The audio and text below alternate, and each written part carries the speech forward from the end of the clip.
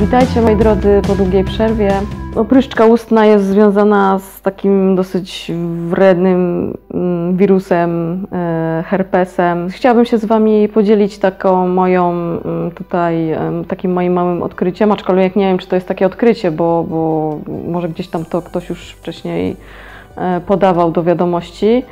E, Niemniej jednak ja, ja się z tym wirusem bardzo dobrze znam. No, chciałabym Wam też powiedzieć, żebyście jakoś uważali, przyszli rodzice zwłaszcza, na, żebyście się oczyszczali, no bo jednak y, przekazujemy wszystkie te patogeny swoim dzieciom. No, to jest prawda, nie ma w tym żadnej tutaj y, ściemy. Wszystko jest przekazywane dziecku i no, później no nie chcielibyśmy, żeby te dzieci miały problemy zdrowotne, więc najpierw przyszli rodzice, oczyszczajcie się, e, idźcie na wybijanie patogenów, oczyszczajcie swoje organizmy z pasożytów, z grzybów, z pierwotniaków, z wirusów, z bakterii, zanim e, zdecydujecie się na e, nowe życie, e, na poczęcie nowego życia, dlatego żeby później urodzić zdrowe dziecko przede wszystkim i żeby to dziecko nie chorowało. Teraz dzieci się rodzą w ogóle już y, bardzo obciążone. Y, Ja chciałam powiedzieć o, o sobie, o, o moich doświadczeniach y, na temat y, właśnie tego wirusa. Jak mi spadała odporność, a jak się było narażonym na, na jakieś tam właśnie stresy, czy tam się zdawało maturę. Ja pamiętam, jak miałam maturę, no to wtedy po prostu całe usta wysypane. Dlatego wiem, że to jest bardzo no, no taka rzecz, z, które, z którą chcemy przesiedzieć w domu. Nie, nie, nie czujemy się komfortowo gdzieś pokazując się na zewnątrz, y, rozmawiając z ludźmi. Mm, Najlepiej to sobie taką, wiecie, y, y, nie opaskę, tylko taką maskę nałożyć, nie? I wtedy, no, ewentualnie można gdzieś wyjść, ale inaczej to po prostu tragedia. A takim wirusem, wbrew pozorom, bardzo łatwo również się zarazić od kogoś. Więc nie dotykamy nic, mamy wszystko osobne, y, żeby partnera nie zarazić, nie, nie całujemy się w ogóle, nie, wszystko na y, ręczniczki, rękawiczki. Najlepiej wszystko, wszystko, bo na pewno nie chcemy, żeby ktoś z naszej rodziny czy z naszych bliskich po prostu miał taką, y, takie coś. Y, Są dwie rzeczy, które naprawdę ja polecam z całego swojego serca i doświadczenia, które naprawdę są niezawodne i, e, i zaraz Wam o nich powiem. Mm, Teraz coraz więcej osób jakby się interesuje ty, tym, że e, każda choroba jakby ma swoje podłoże w psychice naszej. W przeżytych traumach, e, czy nawet w traumach e, przeżytych, które przeżywali nasi przodkowie. E, O tym mówi totalna biologia. No, ja chciałam Wam tutaj powiedzieć właśnie, co mówi o opryszce e, totalna biologia, jak do tego podchodzi. Opryszczka jest to program y, naskórka, mm, czyli rozłąka. Może być związane z jakąś obrzydliwą sprawą. Mogą być to niemiłe słowa skierowane do kogoś lub mm, może być to sama myśl o tych słowach, które chcemy wypowiedzieć albo ktoś do nas wypowiedział. Mm, Dotyczyć może też konfliktu związanego z brakiem lub y, pozbawieniem kontaktu z rodzicami lub y, z partnerem albo współmałżonkiem. E, Również konfliktu pocałunku y, w związku z separacją. Na przykład muszę bieg, e, błagać albo żebrać, żeby dostać e, to, czego chcę, lub nie mogę dostać tego, czego pragnę. Y, Pocałunek pogłębiający uczucie oddzielenia, które znosimy z trudem. Może oznaczać również konflikt typu chciałam kogoś całować, ale nie mogłam, albo mm, na przykład tak bardzo chcę całować kogoś, że aż y, usta się powiększają. Właśnie tutaj e, jakby to jest cytat e, z totalnej biologii na temat tego, co ona mówi odnośnie tego patogenu, odnośnie tego wirusa opryszczki. Y, Tutaj w kolejnych filmikach również będę przytaczała mm, takie mm, rzeczy, które mogą się wiązać z psychiką. Y, Pierwszorzędna rzecz jest to oczyszczanie organizmu. Trzeba zawsze pamiętać o tym oczyszczaniu i ja to będę maglować, bo to jest niesamowicie ważne. Jelita to nasz drugi mózg, Jeśli mamy brudne jelita, mamy słabe myślenie, mózg nie działa, nie pracuje, nie tworzą się hormony itd. Tak dlatego yy, trzeba zawsze pamiętać, pierwszorzędną rzecz, którą trzeba zrobić, oczyścić organizm z patogenów.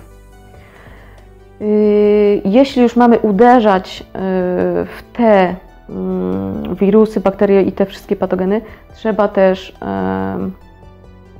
yy, pamiętać o tym, że jeśli jelita, tak jak powiedziałam, mają, są zaburzone, jest zaburzone wchłanianie, są pasożyty, one nam jakby upośledzają wchłanianie, czyli nam brak wtedy witamin, minerałów, substancji odżywczych, wszystko to się nakręca, czyli mamy słabą odporność czyli jesteśmy narażeni na wszystko, co nas otacza, na złapanie czegokolwiek, nawet z powietrza. Bardzo dobrą rzeczą, e, która tutaj nam pomoże w takim stanie, jest witamina C. Mm, jest również oczywiście dla tych, którzy mają problem z kwaśnym jedzeniem kwaśnego, bo tam mają jakieś problemy z układem trawiennym, czyli tam w żołądku wrzody i tam, nie wiem, podrażniona śluzówka, to wtedy mogą skorzystać z innej formy witaminy C, czyli askorbinianu sodu, to właśnie jest klucz. Witamina C jest kluczem do tego, żeby zastopować naszą, naszego herpesa, wirusa simplexa. E, ja Wam coś zaraz pokażę. Nie wiem, czy to będzie widać, ale tu jest taka malutka buteleczka. E, ona jest, ma 3 ml. Trzeba bardzo mocny roztwór zrobić takiej witaminy C, najlepiej tej kwaśnej. I y, ja dałam y, łyż, łyżeczkę, czyli 5, 5 gram na 100 chyba bodajże, albo nawet niecałe 100 ml wody. I to ta woda taka letnia, bo wtedy się lepiej rozpuści. I dosłownie te 3, 3 ml tutaj wstrzyknęłam taką małą szczykawką, a resztę wypiłam. Y, trzeba pamiętać, że jeśli chcemy się wyleczyć, musimy z różnych stron działać na organizm. To jest oczywiste. Y, tutaj smarujemy, pijemy od wewnątrz, tak? Jeszcze możemy sobie czyścić jelita lewatywą, y, tam oczyszczać się po prostu, robić oczyszczanie organizmu w inny sposób. Mm, ale jeśli czujemy, że taka na przykład już opryszczka nam gdzieś tam na ustach wyskakuje, zawsze trzymamy to przy, przy sobie, dosłownie nie rozstajemy się z tym. Przez pierwsze 24 godziny. Powiem Wam, że to działa niesamowicie. Oczywiście pijemy duże dawki witaminy C, wtedy y, smarujemy to, dosłownie nie rozstajemy się przez jeden dzień z tym, na drugi dzień nie mamy nic. Po prostu jakby to, to jest cud.